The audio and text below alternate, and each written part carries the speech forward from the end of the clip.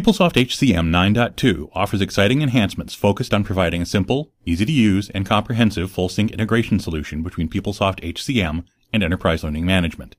You can initiate and monitor many aspects of the integration through a guided process that centralizes and automates the steps. Let's take a look at the process flow of the ELM Full Sync Integration Guided Process. Before processing anything, Integration Broker Full Sync Integration Points and Full Data Publish rules must be activated and configured. To start off, through the Integration Broker, initiate and publish full syncs from HCM using the ELM Full Sync Guided Process to send profiles, job data, person data, department, hierarchy, competencies, and other data to ELM. The transformation framework transforms the data prior to integration with the ELM. Initiate ELM Full Sync integration by navigating to the Select Guided Process screen. Personalize the guided process by answering simple yes or no questions regarding the full sync integration for your system. When you select Start My Guided Process, the system takes you directly to the Guided Process Work Center page, where an activity guide leads you through a series of pages that initiate and monitor the full sync integration process. The Guided Process Work Center page has three main areas the navigation subpage area, the pagelet area, and the target content area. Buttons in the navigation subpage area, at the top of the page, let you move forward or backward. You can also cancel the guided process, exit, continue the process at a later time, or mark a step complete within the guided process. The Activity Guide pagelet area, on the left side of your screen, shows you the high-level section for each of the questions for which you answered yes. You can expand each section and click a link to access the steps that need to be completed.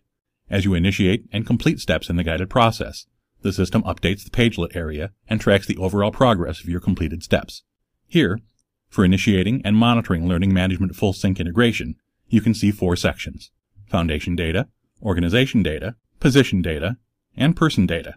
When you select a step, the system opens a page in the target content area where you can initiate full sync integration.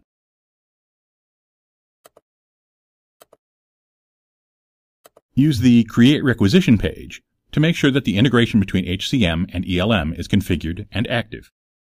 If the integration is active, then you can execute the integration process, which generates the integration process request ID, and the system initiates and processes the foundation data integration. Click Next to go to the Review Integration Process Request page. From here, you can monitor the foundation data integration process. You can view the current status of the full sync integration and drill down for more details. Some full sync integration processes require the initiation of the process full sync data process in order to use the data loaded into the ELM staging tables. This means that some full sync integrations have an additional step in the integration request that you can monitor. Here, you can see the process detail page for the country full sync process, which requires initiation of the process full sync data. Use the process detail page to access the message log details so you can see more details for a step. Select the Mark Complete button to complete the Foundation data integration.